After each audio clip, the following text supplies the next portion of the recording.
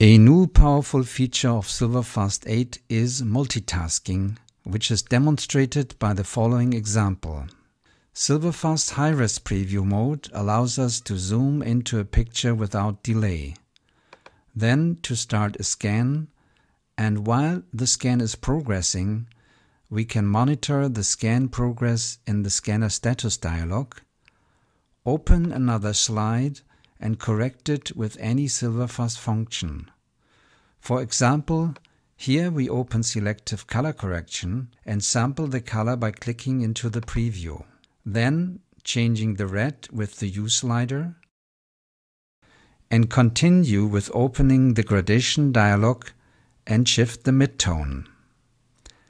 Next, we open the histogram, switching its mode to three-part histogram and moving its midtone in the green channel.